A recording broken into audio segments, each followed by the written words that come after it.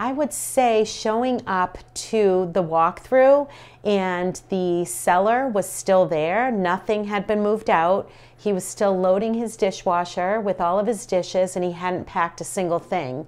and my buyers were set to move in that afternoon. They had the moving trucks already.